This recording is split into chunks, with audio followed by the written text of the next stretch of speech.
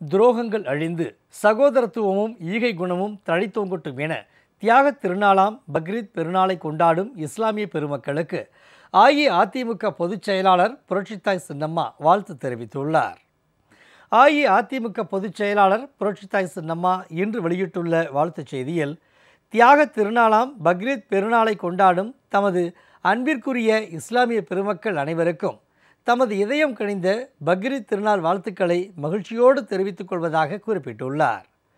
இறைத்தூதர் இப்ராஹிமின் தியாகத்தை இவ்வுலகிற்கு உணர்த்தும் நாளாக கொண்டாடப்படும் இந்நன்னாளில் துரோகங்கள் அழிந்து சகோதரத்துவமும் ஈகை குணமும் தழைத்தோங்கட்டும் தியாக சிந்தனைகள் மேலோங்கட்டும் என குறிப்பிட்டுள்ளார். இத்திருநாளில் இஸ்லாமியர்கள் அனைவரும் காலை சிறப்பு தொழுகையை நிறைவேற்றி இறைவனின் அருளை பெற்று அனைவரிடத்திலும் அன்பு பாராட்டி ஏழை எளியோருக்கு உணவளித்து உற்றார் உறவினர்களுடன் இந்த பக்ரீத் பண்டிகையை உற்சாகத்துடன் கொண்டாடி மகிழட்டும் என சின்னம்மா வாழ்த்து தெரிவித்துள்ளார்.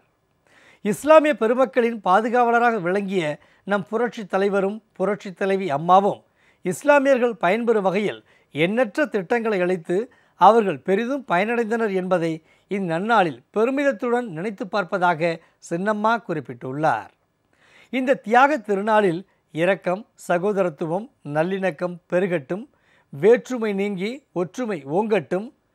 அன்புள்ள இஸ்லாமிய பெருமக்கள் அனைவருக்கும் தமது பக்ரீத் நல்வாழ்த்துக்களை மீண்டும் ஒருமுறை உறுத்தாக்கிக் கொள்வதாக புரட்சித்தாய் சின்னம்மா தெரிவித்துள்ளார்.